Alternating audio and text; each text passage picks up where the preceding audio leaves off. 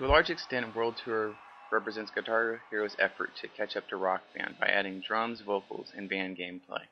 It also includes a wide variety of gameplay modes online, the ability to make your own songs, which are in general a lower quality, and uh, also some new ways to play the guitar that will challenge seasoned veterans.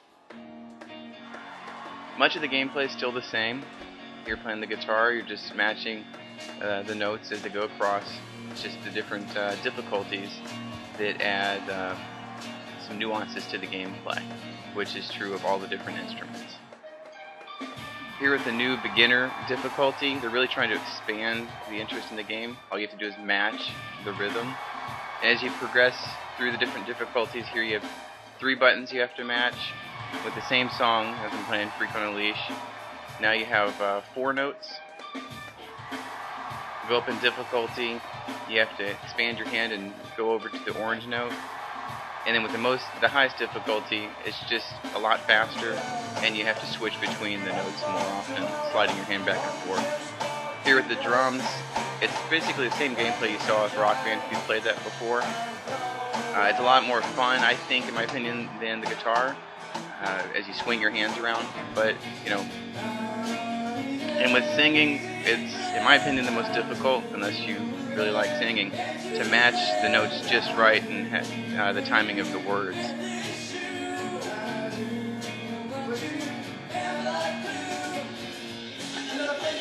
And there's a few rap songs which are obviously a lot easier because it doesn't matter that I'm not hitting the actual notes. I'm just timing the words just right.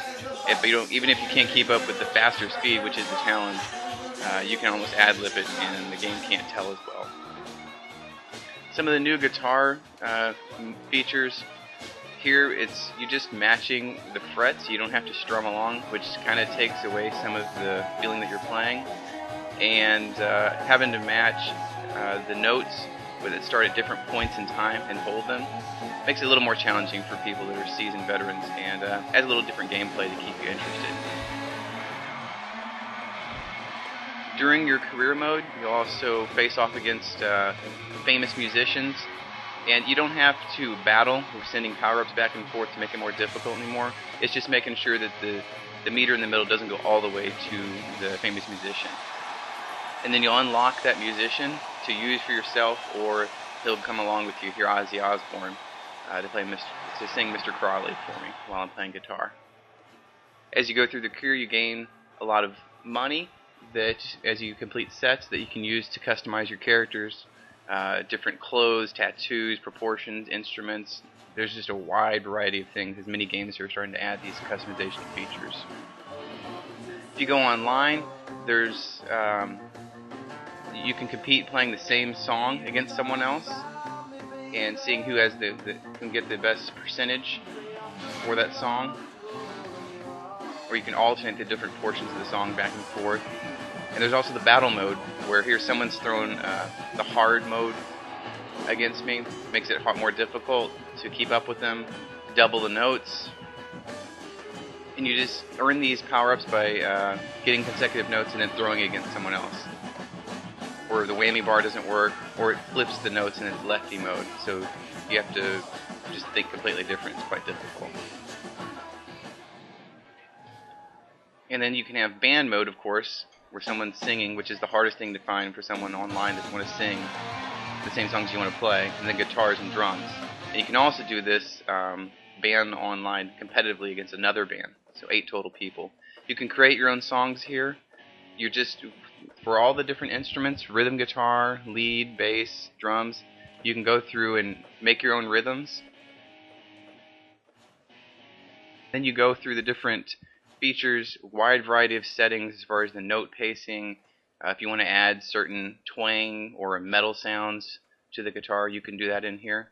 A lot of detail. Then you upload it, and you can browse it by genre or uh, the easiest way to get the highest quality is by the rating there. So the people who rate it the most, download them and see what the song has got to it. But as you can hear, it doesn't isn't the same quality of sound. There is the rhythm for people that have the talent in creating that rhythm, but it's just not, in my opinion, as much fun as playing a song you've heard over and over on the on the radio. So it doesn't really draw you in as much. Then if you've gone through all the songs that are uh, included in the game, there's also new songs that are always being put up on the the store that you can. Similar to Rock Band. You can easily browse through by genre and artist, and you can preview the song before you buy it to hear what it's like. Overall, World Tour is an homage to Rock Band that it has to catch up and add drums and vocals and band gameplay. The band gameplay actually goes online, so it is a lot more fun to have that competitively in World Tour. It's a few new features with the guitars to keep uh, people who've played all these games over and over interested. And the creating your own song is neat, but at the same point, it's um, not as much fun to play those as the ones that you've heard over and over again on the radio. Overall, World Tour is a great game, but it's showing also that there's only so much innovation that they can add to the rhythm gaming uh, genre.